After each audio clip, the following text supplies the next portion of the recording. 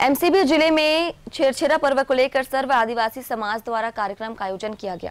इस मौके पर विधायक गुलाब कमरों के साथ सर्व आदिवासी समाज द्वारा गाँव में घर घर जाकर छेरछेरा मांगा गया। इस अवसर पर सैला और सुआ नृत्य का प्रदर्शन भी किया गया। बताया जाता है कि इस त्योहार के दिन दान लेना और दान देना दोनों ही बहुत ही ज़्यादा शुभ है।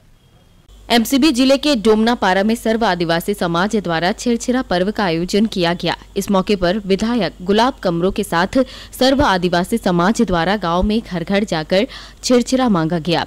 इस अवसर पर सैला व सुबह के नर्तक दल मौके पर पहुँचे और उन्होंने सभी को छेरछेरा की बधाई व शुभकामनाएँ दी। मौके पर मौजूद अतिथियों ने बताया कि यह हमारा पारंपरिक त्योहार है, जो हमारी संस्कृति को परिभाषित करता है।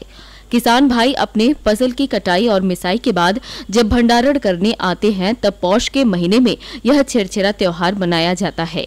कहा जाता है कि अन्नदान करना बहुत ही शुभ माना जाता है। इस अवसर पर गाँव में किसान, युवा, महिलाएँ छेरछेरा मनाते हैं और घर घर जाकर दान मांगते हैं और फिर इकट्ठा करके इसको खलिहान में मनाते हैं। जिसमें कौवा के रूप में एक युवक आता है तो उसे जलती हुई लकड़ी से भगाते हैं।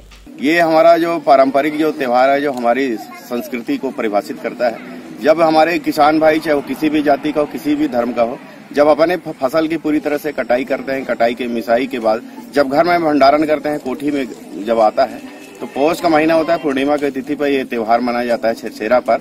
हमारे चाहे नौजवान हो, चाहे हमारे किसान भाई हो, चाहे महिलाएँ हो, बच्चे हो एक एक घर घर जाके छेरछा मांगते हैं।